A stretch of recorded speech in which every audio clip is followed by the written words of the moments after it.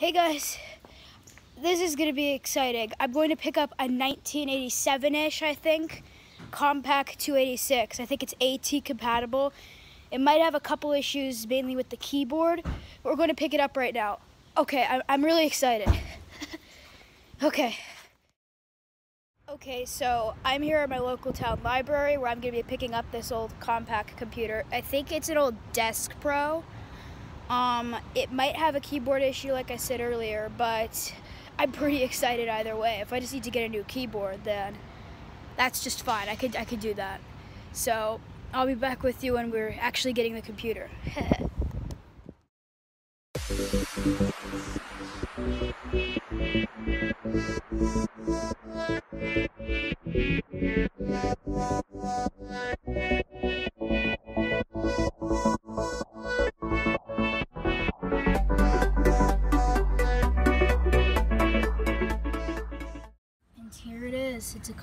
Desk Pro 286 with a Microsoft mouse and a keyboard with a very frayed cable, but he couldn't find the port for it. That was why, and it does fit in, so maybe I'll be able to get it to work.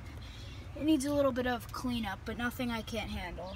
So yeah, can't wait to get this thing home. 640K of RAM, I was told, and a VGA card. So yeah, it's gonna be crazy. Okay, here it is. It's a Compaq Desk Pro 286. Here's the uh, DIN keyboard connector. We have the key lock, which I do not have the key for, so it's unlocked, so that's fine. Uh, what I think is a tape cassette, which is kind of cool. And then I have this uh, floppy, uh, five and a quarter inch floppy drive, and I think this is the hard drive right in there. So if we look at the top of this thing, it is kind of dirty, but I can clean this up. It's definitely dusty.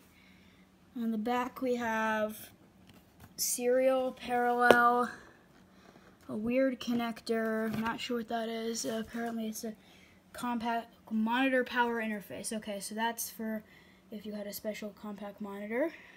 Uh, I think there's the power supply in here, which is what let out the magic smoke, I think. And then in here we have some dip switches and uh, a VGA port, which is where the VGA card goes. So this is really cool. it has eight expansion slots. Uh, let's look at our accessories. We have, uh, hi Vivi. This is Vivi. He's one of our two cats. The other one is Stella. Stella's uh, not here right now. So we have a very sad keyboard connector and keyboard. We have a Microsoft mouse, serial. Let's hook all this stuff up. I'll be back in a minute. Check out the manual. I also have its original manual. You can see the disc protector sleeve that you put in the floppy drives when moving it. But I'm just going to turn to the page about um, transporting the computer because this is pretty funny. So check this out.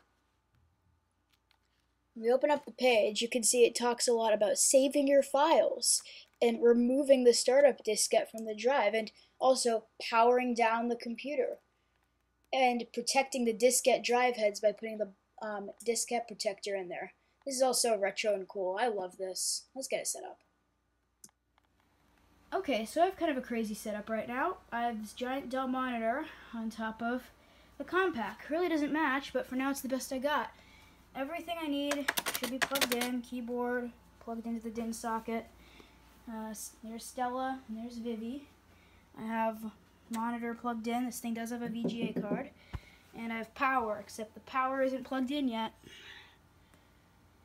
Just about to do that. Right down in here. Alright, three, two, one. The computer has power. Not really doing anything. Now I'm going to turn on the power supply.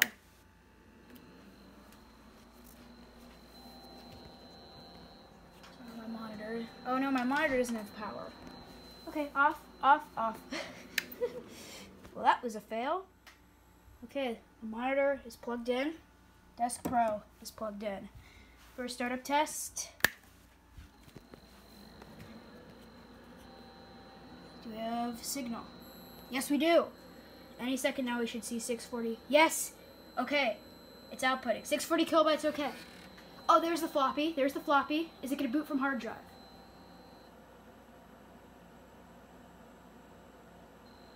Will boot from hard drive?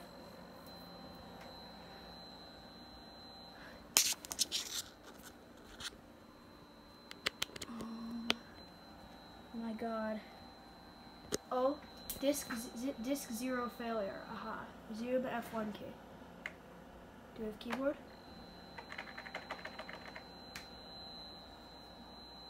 Disk zero failure might be the hard drive dead.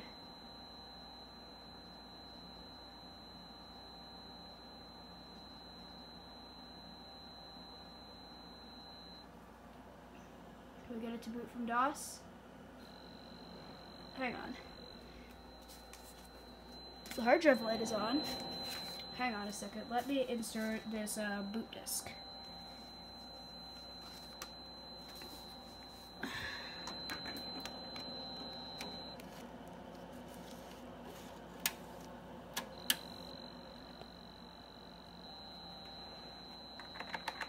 Keyboard working? Yes, it is. The caps lock light came on when I put caps lock, so it is working. I think that we need to uh, restart.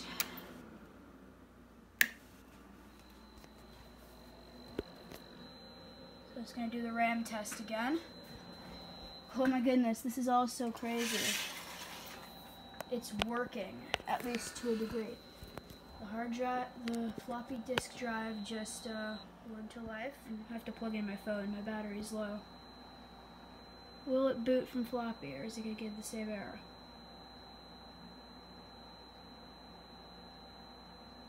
Disk zero failure, zoom F1 key. Oh, that, that time it worked. Oh, it's reading. It's trying to read.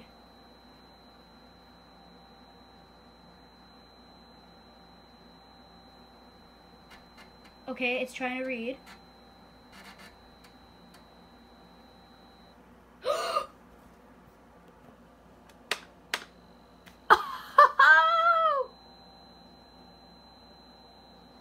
I'm guessing C is a no-go. Invalid drive specification. Okay. Uh, let's try directory command. Keyboard's a little finicky. Yeah, let's go. Yes. yes. It's working. It works. Oh.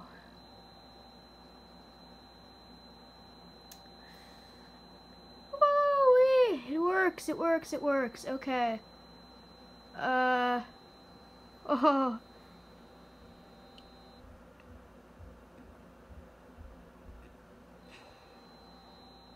Alright. Okay. So, I've cleaned the computer off. It looks pretty nice now. At least, I've cleaned it off, except where the monitor's sitting on it. And so yeah, the hard disk appears to be dead. The floppy drive works. Haven't tested the tape backup drive. Um, around back, let's just go over a demo of everything. So if I just turn it on, it will start to do the RAM check where it will find a total of 640 kilobytes. The hard drive, wore, the, the floppy drive wears up. I also cleaned up the keyboard at least a little bit. Still a little bit dirty. This cable is just falling apart. It's not in good shape. The hard, the cable for the uh, keyboard. So and then it'll have a disk zero error, which means that this hard drive is dead. So then I will just put in the MS-DOS boot disk, which is also pretty dirty, but clean compared to the other ones. So I'll Just put that into the drive. And then F1 key it. It will read. And then this beastly 286 will boot to DOS.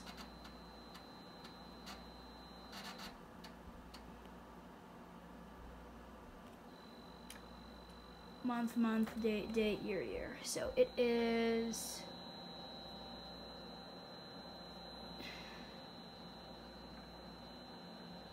six.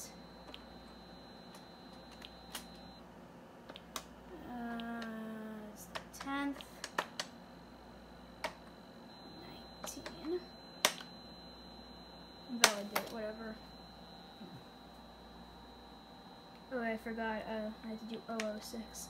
Either way, pretty soon it will boot to DOS.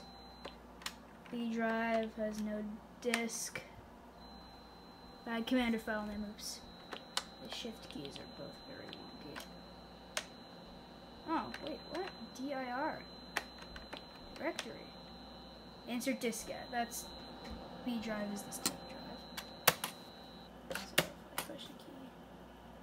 Oh, directory of, of B. Oh, I think it's just the same as the A drive.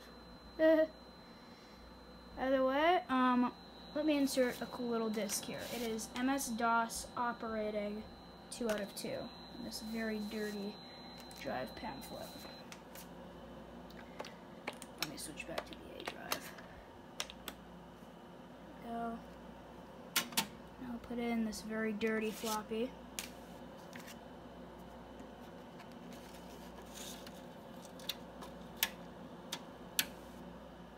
then let's uh, go to the directory. This keyboard is not very good. Insert diskette. There we go. You can see, look, basic. This computer I have basic for.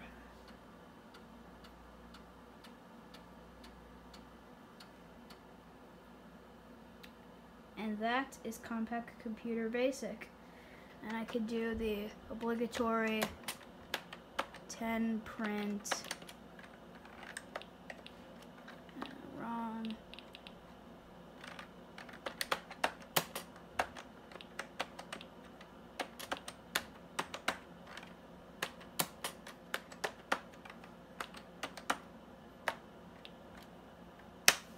looping program. 20, go to 10, run. And there we go. Just a looping program and then, uh, can't, oh no, I cannot break it because I can't reach the break key. Oh yeah, I can use right control, I'm stupid. there we go. So yes, it works more or less besides the hard drive, although it does light up. So yep, that is the Compaq Deskpro 286. Not exactly sure what year this is, but yeah, it's awesome. As you can see, I have my water here my spray bottle because I was cleaning it up. This gets everywhere. It's it's crazy. My setup is changing all around. So, uh, yeah.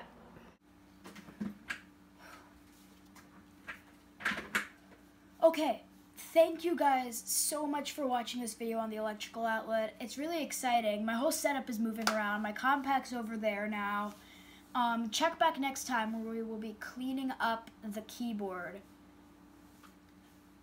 which I've already done, but this video is getting pretty long, so I think I should just end up splitting it into two parts. It would be a lot better that way.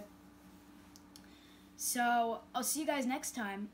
Hope you enjoyed this video and hope now that I have sort of a retro video and a more modern video up on my channel, you'll see, you'll have a little more of a better idea about what you'll see on this channel.